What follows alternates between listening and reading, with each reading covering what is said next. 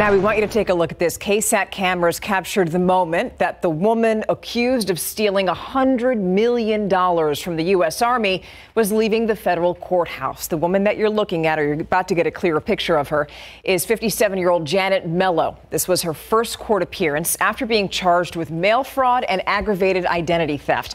Feds say that she took money that was supposed to go to military members and their families and instead used that money to buy clothes, jewelry, cars homes, and she allegedly did it while managing a financial program at Fort Sam Houston.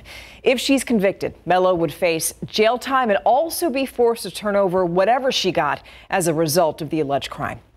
Keep up to date with all of San Antonio's top news, weather, and so much more by clicking the like and subscribe buttons below. And once again, thanks for watching KSAT.